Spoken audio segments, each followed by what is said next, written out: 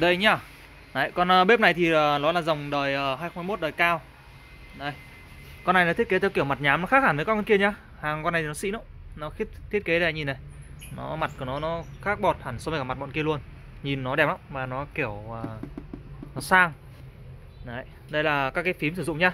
Thì nó cũng sử dụng y chang nếu anh sử dụng bếp rồi thì anh biết không ạ? Y chang như con kia thôi. Đầu tiên là sẽ phải mở này. Đấy Mở thì đèn nó sẽ báo sáng hết Và lúc này mình sẽ chọn các chế độ. Muốn chọn được chế độ thì anh phải đặt xong vào. Đây, đây. Đấy. À đây chết. Vừa em vừa đấy đang nghe thế là cứ mãi nói chuyện với anh Quên không chỉ cho anh bảo cho anh. Con này thì bình thường nhà em đang bán là 1 triệu 9 Con uh, Oris Orama này Bởi vì nó đời 21 thì đời nó sẽ cao Thì giá nó sẽ cao hơn anh biết rồi đúng không ạ? Đời cao thì giá tiền nó sẽ cao hơn. Con này thì uh, quên với ông chỉ cho anh đây Thì nó bị một tí này Nó chả ảnh hưởng gì đâu anh ạ. Không ảnh hưởng gì cả nhá. Đấy, Không ảnh hưởng gì cả đây. Đấy.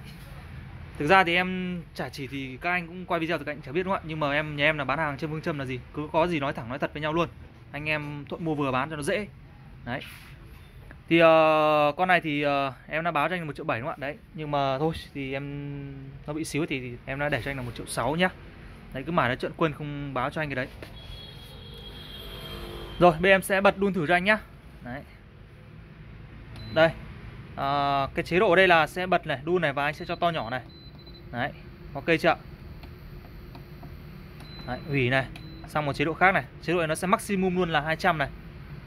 Đấy Chế độ này thì mình sẽ không tăng không giảm một nữa nhé Đấy Hủy thì sẽ nhấn vào chính của nó này. Tiếp theo này. Đấy. Ở đây nó sẽ đun theo thành lớp 1, lớp 2, lớp 3 Đấy. Ok này. Tiếp theo là sang chế độ bên này. Bật này. À cái này chưa có bếp nó sẽ báo là E01 nhá. Đấy, chưa có bếp thì nó sẽ báo là E01.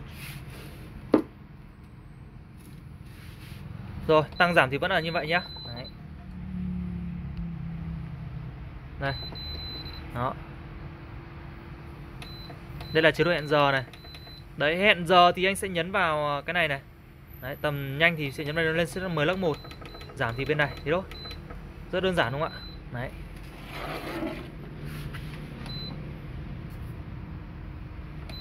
Đây hẹn giờ này. Cái này hẹn giờ thì nó sẽ hẹn giờ của cái phần bên này anh nhá. Hẹn giờ thì nó sẽ hẹn giờ của cái này Còn hai cái này nó sẽ là đun mức cố định Thì mình sẽ không hẹn giờ được. Đấy. Ok nhá Bếp là chạy bình thường. Đấy thì giá em báo anh rồi nhá. Là Con này là bớt cho anh là còn 1 triệu uh, uh, 1 triệu 6 Đấy xem ok thì uh, báo em nhá.